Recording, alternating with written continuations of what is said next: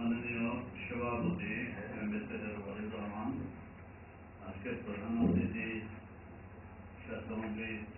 আমাদের অত্যন্ত প্রিয় ভাইয়ের ব্যক্তিত্ব অধ্যাপক দেবেন্দ্র হক আজকে আলোচনা যারা মূল করবেন তার মধ্যে হক আমার বন্ধু হোসেন এবং আমার সহযোগী আহ,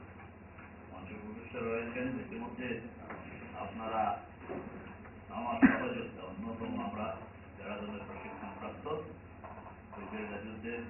পূর্বে অবশ্য আমরা বিভিন্ন জায়গায় প্রশিক্ষণ গ্রহণ করেছিলাম বিভিন্নভাবে তবে যুদ্ধকালীন সময় আমরা যারা যাদের প্রশিক্ষণ প্রাপ্ত ব্যক্তিগতভাবে আমি। তো আজকে এই সহযোদ্ধাদের এসে এবং একজন সহযোদ্ধা এখন বক্তব্য পেশ করেছেন, তার উপরে দু একটি কথাবার্তা বলতে যাচ্ছি বলব যে প্রসঙ্গে ইনু বা আজকের যে সেমিনার যে প্রসঙ্গে হচ্ছে, যার উপরে ব্যক্তিগতভাবে আমার নিজস্ব সমীক্ষা রয়েছে। আমি বঙ্গবন্ধু শেখ মুজিব থেকে জাতির পিতা একটা গ্রন্থ, সেই গ্রন্থে এই ব্যাপারে বিস্তারিত আলোচনা হয়েছে। তারপরেও এবারও বেশ কিছু দেখা দেখা পাঠিয়েছিল বিভিন্ন পত্র পত্রিকাতে ছিলাম না।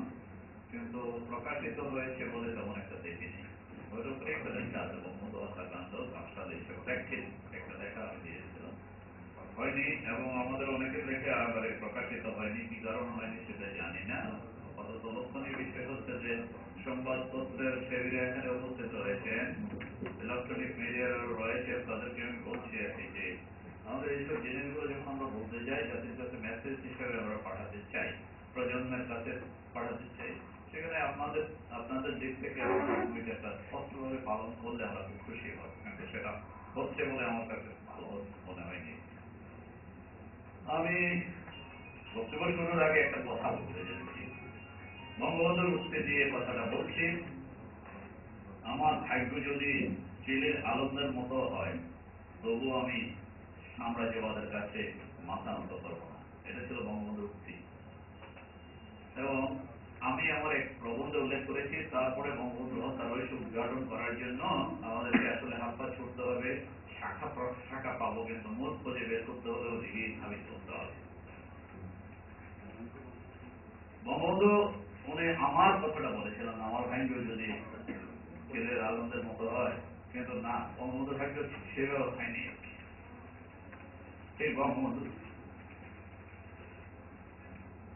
ভাগ্যের সাথে আমাদের তার পরিবারের এবং নিকটস্থ তেত্রিশ জনের ভাগ্য সরাসরি জড়িত হয়ে গেল। আর আমাদের সারা জাতির ভাগ্য জড়িত হয়েছে বিভিন্ন দেশে যাই, এই- এই গত সপ্তাহে আমি শিকাগোতে ছিলাম। যাই মানুষের উন্নয়ন দেখি। মানুষ আমাদের সম্পর্কে জানে। এবং কীভাবে আমাদের সম্পর্কে জানে, এটা এত খারাপ ভাবে জানে যে আমাদের মনে হয় বেদনা আমাদেরকে প্রতিনিয়ত তাড়িত করে। ওটা এগিয়ে যাচ্ছে আর আমরা কেবল পেছনের দিকে তাকাচ্ছি। আমার ব্যক্তিগত বিশ্লেষণ হলো বঙ্গবন্ধু জীবিত থাকতেন, যে কোনোভাবে জীবিত থাকতেন পঁচাত্তর সালে যদি তিনি নিহত না হতেন, আজকে বাংলাদেশের এই দুর্দশাটা হতো না।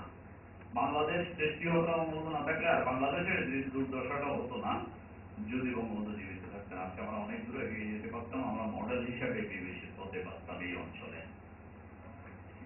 যাই হোক, আমি আমার মূল কথা ছেড়ে আসি কথাটা এই বঙ্গবন্ধু ভেবেছিলেন যে উনি নিজের সাম্রাজ্যবাদ ওনাকে নির্মূল করে থাকবে এককভাবে। কিন্তু আসলে আমাদের সবাইকে নির্মূলের প্রক্রিয়াটা সেই সময় থেকে সূচিত হয়েছে এবং তার ফলশ্রুতি বা গল্প আমরা করে যাচ্ছি। মূল প্রবন্ধে আছে বঙ্গবন্ধু হত্যাকাণ্ড জেনারেল জিয়াউর রহমানের প্রত্যক্ষ পরোক্ষ সংশ্লিষ্টতা একটি ঐতিহাসিক বিশ্লেষণ। যেন আসানুল হক বিজলিনও একসময় খুব ভালো ফুটবল খেলোয়াড় ছিলেন। তারপরে রাজনীতিতে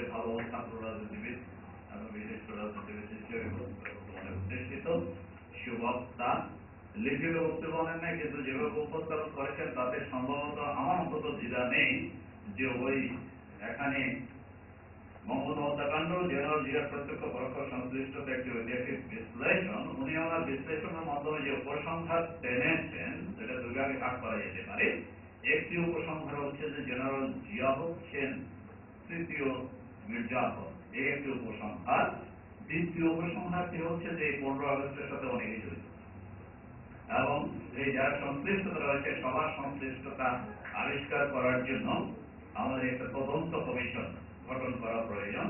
দুটো বিষয়ে আমি মনে করি যে আপনাদের